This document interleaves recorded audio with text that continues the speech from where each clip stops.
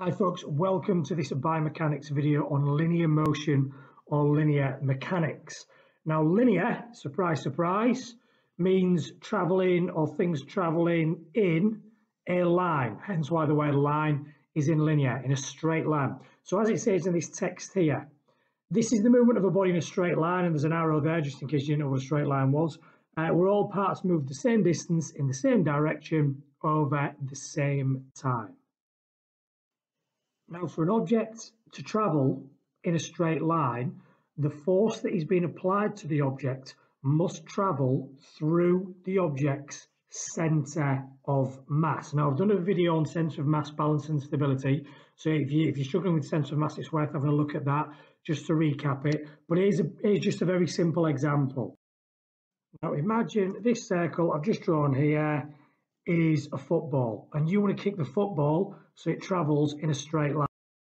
Now the red dot I've just drawn there represents the ball's centre of mass, centre of gravity. Remember everything in that direction weighs the same in that direction, everything in that direction weighs the same as that direction. Now if I apply force straight through that centre of mass, so if I kick the ball and I put the force right through the centre of the ball, that ball will then travel in a straight line. It will have linear motion. So in order to make an object travel in a straight line, we've got to apply a force straight through the center of mass. I'm, I'm going to do a video to do with angular motion.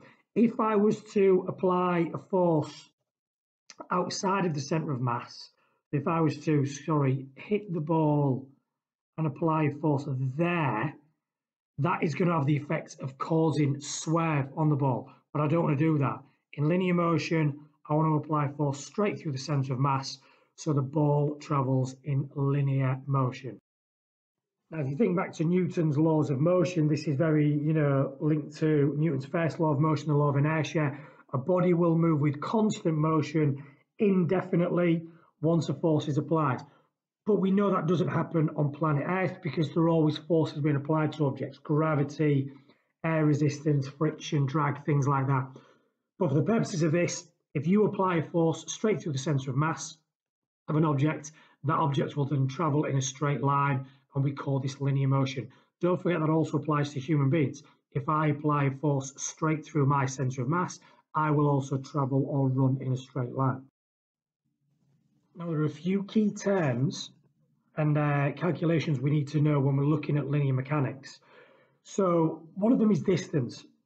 So distance is the total length of the path covered from start to finish and is measured in meters. So the example I put there, the distance covered by a 400 meter runner would be 400 meters. Now displacement is very similar to distance in that it's measured in meters as well, but it is the shortest straight line route from start to finish. So the same 400 meter runner will have run a distance of 400 meters, but their overall displacement will be zero meters as the start and finish point is the same place. Now that's worth knowing. Now, obviously, that's not going to give us much useful information if you do displacement divided by uh, time, if you're trying to work out velocity, which is what we're going to look at in a second. But I'll come to that in a minute once we've dealt with speed. Speed is the rate of change of distance Every time we, have rate of change, we effectively mean divided by time. So speed is measured in meters per second and its distance in meters divided by time in seconds. So 100 meter runner, what is their speed if they do 100 meters in 10 seconds? It would be 100 meters divided by 10 seconds, which would be 10 meters per second. Now velocity is the rate of change in displacement and it's calculated by displacement divided by time. Now it's very, very similar, almost identical to speed. For the example I gave you above about this 400 meter runner, if you did their overall displacement, it would be zero. And it might have taken them 50 seconds to do one lap of the track.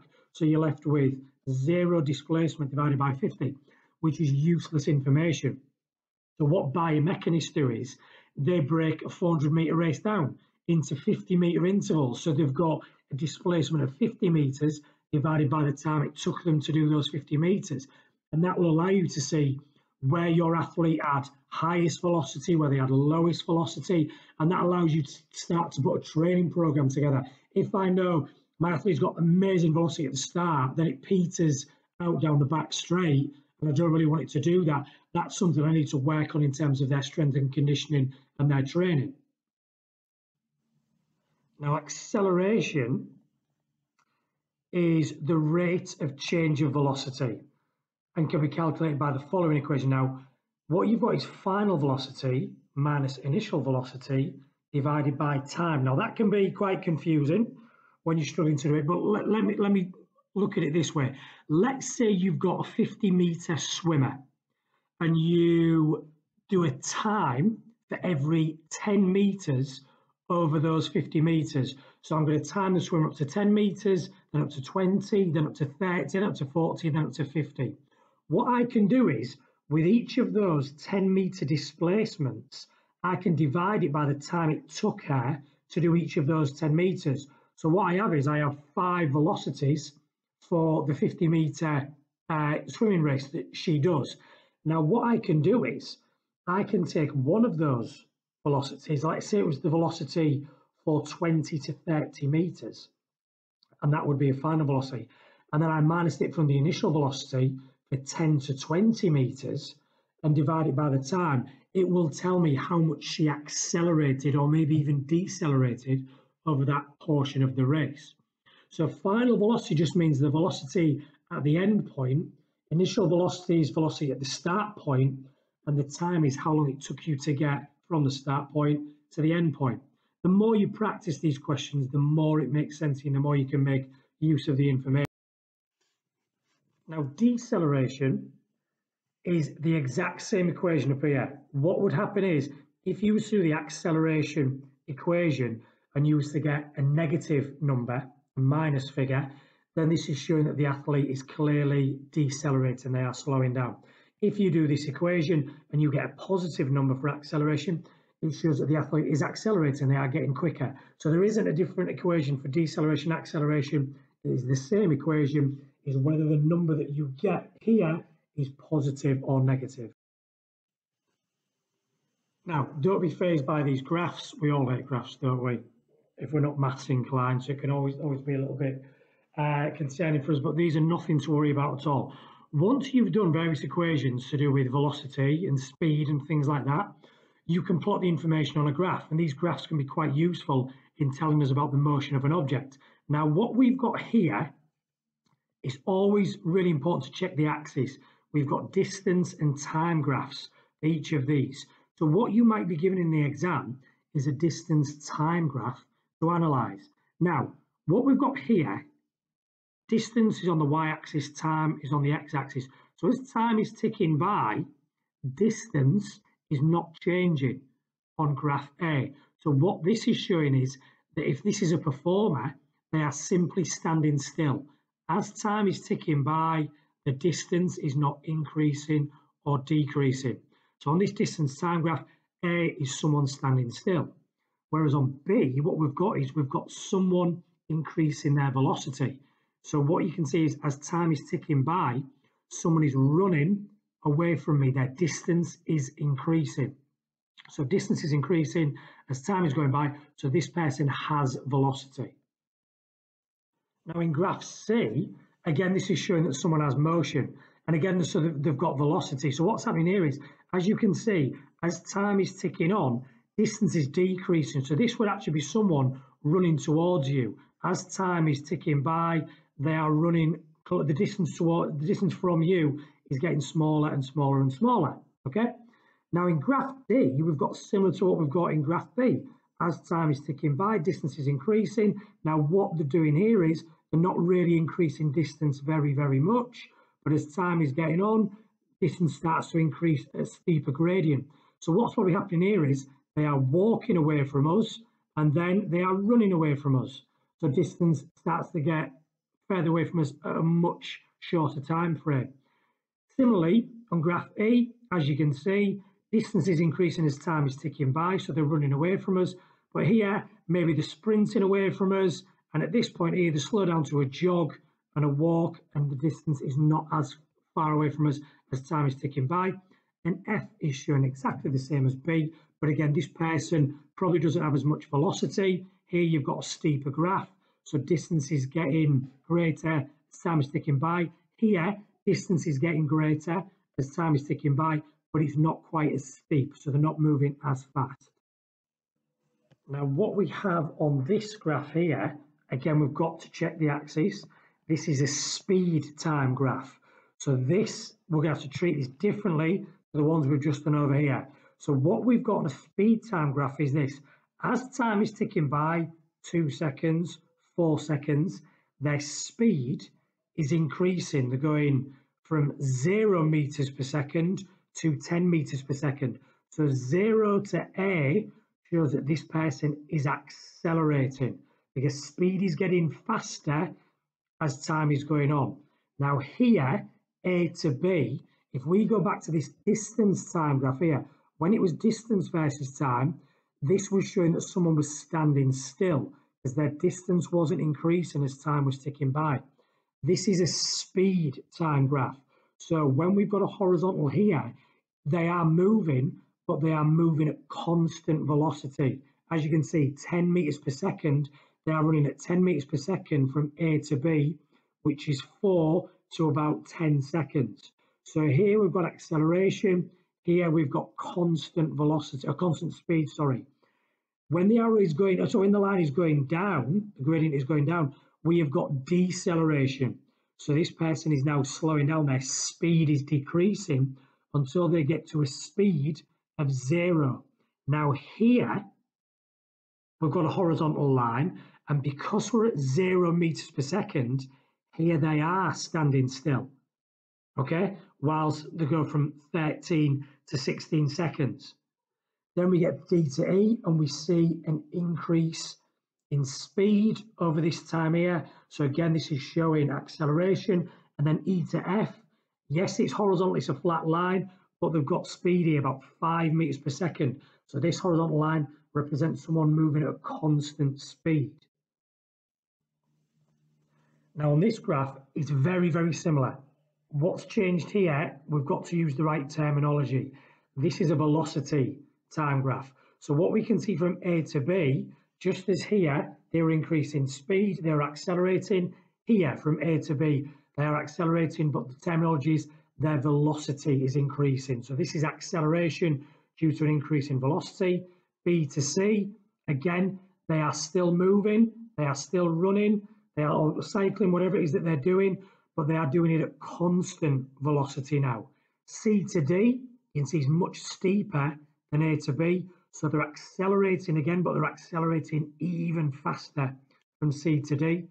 D to E, horizontal line, but again, they've got velocity. So DTs, they are moving at constant velocity.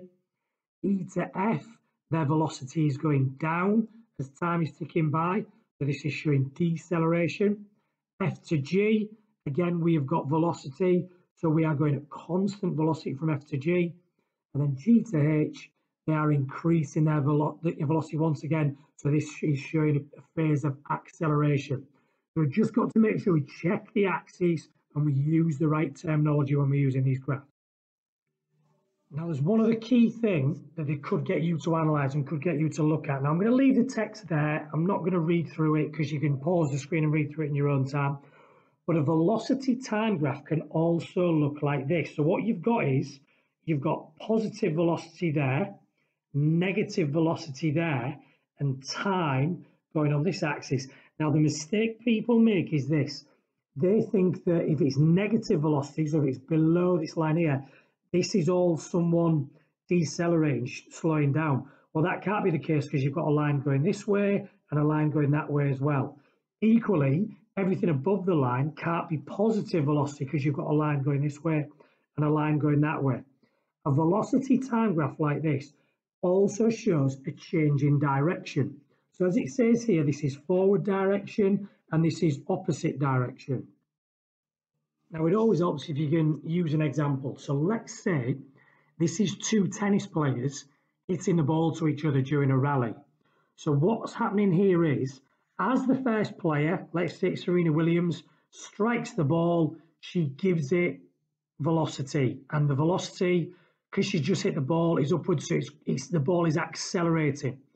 At some point, as the ball is traveling, okay, the velocity is ultimately going to plateau, so it's going to reach its top velocity, and then it's going to start slowing down. But as it does so, this is indicating a change in direction. As the ball is slowing down, it's also traveling towards her opponent.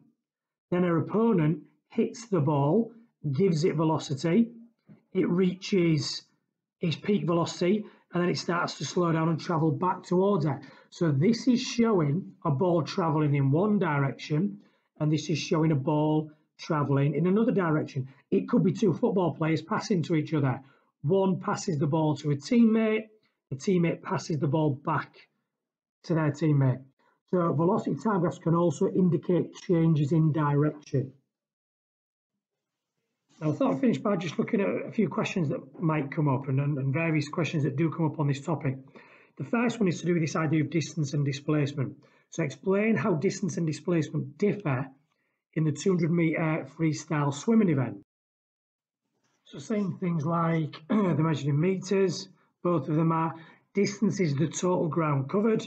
So in this instance, a swimmer, the swimmer will have done 200 metres of distance in the race, whereas displacement is the distance between where the swimmer started and finished. So again, in this example, the swimmer would have a displacement of zero metres, 50 metre swimming pool. The swimmer has done up and down four times and that has led to total overall displacement of zero meters because he or she starts and finishes in the same position.